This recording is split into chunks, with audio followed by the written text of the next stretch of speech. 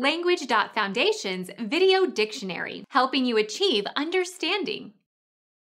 Admission to a group, especially a college or university. Matriculation. Become our student and get access to effective and free educational materials.